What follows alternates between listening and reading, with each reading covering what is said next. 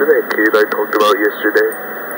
Well, today was his birthday, and maybe his last, too. His brother and friends shoved him into Fredbear's mouth. Since the spring locks are sensitive to anything damp, and the kid was crying, so he snapped. It was pretty bad. Blood was going everywhere. It got even worse as the spring locks made the suit compressed. You know, I never got a good feeling from his brother, Mike. He always seemed up to trouble. I hope he learned his lesson. They actually might shut down soon, since we had only one kid come in today. Probably been something, but I'm not sure. You'll be getting your paycheck tomorrow, so please stop by. So I'll see you. I think they're still hiring at Freddy's if we are shut down. Just show up tomorrow. Alright, see ya.